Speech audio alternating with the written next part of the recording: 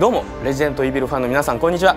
H ことカプコン第一開発部プロデューサーの平林です、えー、今回レジェンドイービル2のリメイクプロジェクト、えー、応援いただき本当にありがとうございます。皆さんの熱い情熱と応援のおかげで、えー、ようやくこのリメイクプロジェクト開発決定いたしました。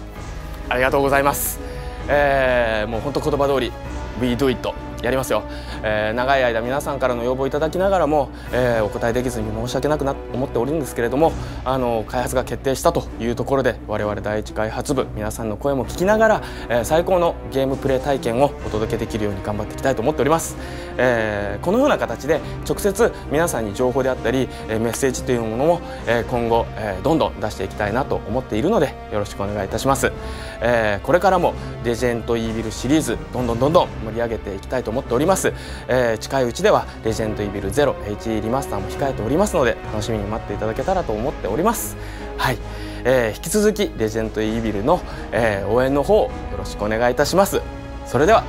失礼いたします。